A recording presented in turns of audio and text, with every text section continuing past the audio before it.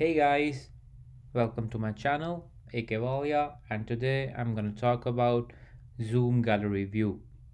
In this Zoom tutorial, I'm going to show you how to access the gallery view feature of Zoom and view multiple participants on one screen. So the gallery view feature of Zoom is specific to Zoom itself and is a very useful feature if you want to see all of the participants in your meeting on one screen. It is also given on the Zoom website. If you navigate over to zoom.us and click on the plans and pricings tab, you can see that feature in all the Zoom meeting plans. So I'm going to show it to you in the basic plan, which is free. If you hover over to video conferencing features and click on it, you can see the full screen and gallery view feature and if you click on the information icon it says that it shows up to 25 video feeds per screen. So this is particularly useful for people who want to see their colleagues or classmates or for online instructors who want to see if students are paying attention to them or not or for example to fitness instruct instructors who want to see if their students are doing the right poses and the right exercises.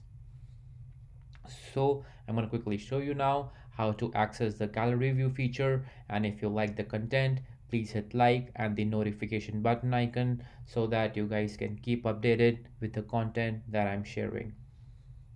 So now i go to the zoom.us web app, uh, application that i've downloaded on my laptop and i click on join and I enter the meeting ID which I want to join.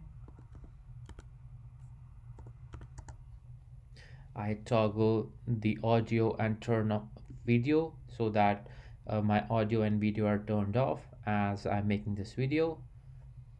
And I hit on join. So now it connects me to the meeting.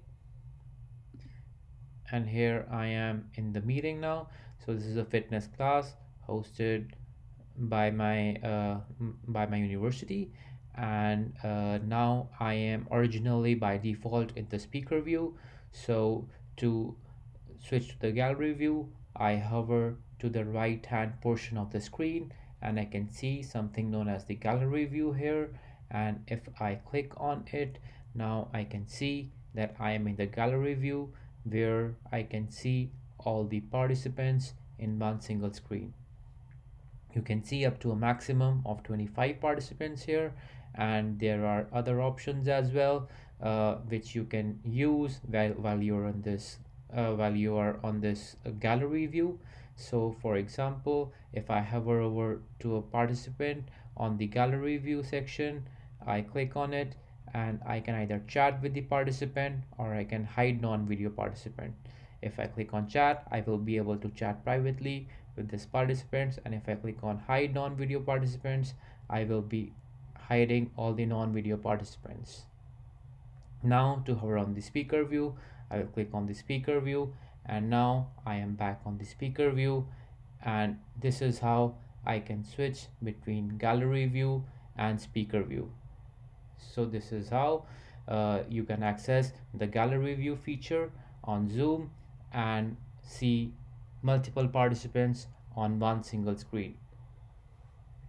One more feature while using your zoom uh, while using this zoom feature and doing zoom meetings please make sure that your zoom meeting is secure because with the recent spike in zoom meetings there have been a plethora of issues uh, relating to security with zoom and to know how to make your zoom meetings more secure click on the link on the top right hand screen of this video where I have given some tips and tricks on how to make your Zoom meetings more secure.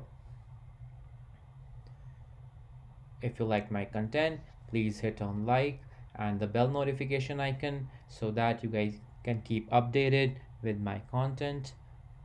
And if you have any problems in using Zoom or accessing the gallery view feature, please let me know in the comments so that I can get back to you as soon as possible.